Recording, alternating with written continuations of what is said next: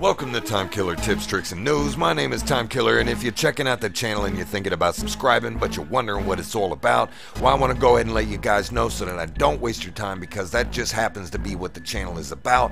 Not wasting your time and bringing you the latest, most up to date content that I can about the games that you guys actually care about, and bringing you that content with absolutely no bull or no hype, and never trolling you guys whatsoever. If you're looking for a channel that's all about the gamer and the gaming community, well, this is going to be the channel for you.